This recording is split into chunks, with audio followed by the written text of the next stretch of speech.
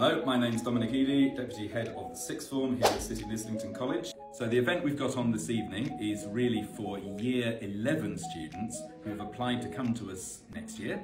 And it's about giving them an experience of what it's like to think like an A-level student, to create like an A-level student, and to engage in discussion and debate like an A-level student. So hope you enjoy this event. A student ambassador for City and College and I think days like these are really helpful because they help you make friends and see what subjects you're going to do before you actually pick them. When I was in year 11 I came to one of these and I made some friends. It made induction day much easier because I had more people to talk to and it was less scary because I knew I was going to have people coming in.